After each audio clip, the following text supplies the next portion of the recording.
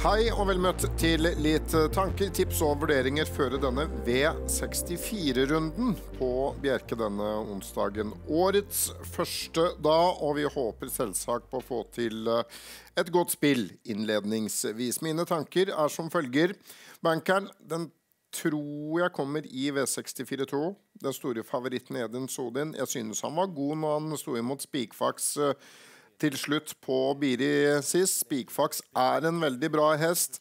Her ligger det an til at han kan bestemme litt på tempoet underveis. Edens eh, Odin han møter eh, flere fine hester, men fra tet så tror jeg han har en toppsjanse. Jeg tror han kommer seg dit også etter hvert, Edens Odin, og da tror jeg han har en veldig god mulighet til å vinne.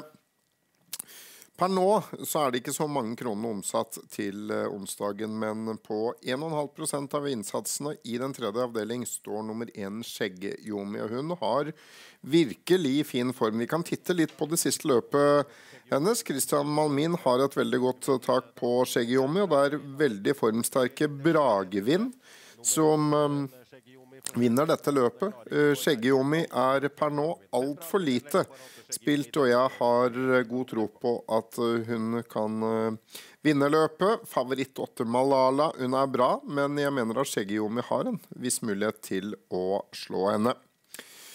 I den uh, fjerde avdelingen så er jeg ganske trygg på at det står mellom to hester. Nummer én Date Night har vært god. Kåre Andersen-hesten som står i innerspor.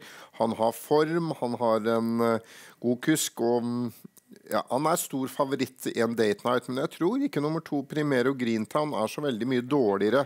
Og inntrykket tredje juledag var jo strålende. Andre par utvendige her sitter der også over mål. Easy vinner spurter som en vind og vinner uh, V75-løpet. Men se på Primerio Grintown, hesten til Per Oleg Midtfjell. Han har eh, krefter igjen. Nå ser vi ettermål på bildene som dukker opp uh, straks så ser vi at det var faktisk full tank på Primero Greentown, som eh, i øyeblikket er en 7-prosenter i V64-4. Han kommer til å bli spilt opp, men per nå i hvert fall superinteressant rent spillmessig. Normalt så holder du jo også i femte avdeling med tre Marvelous Doma, én Mikkel HR.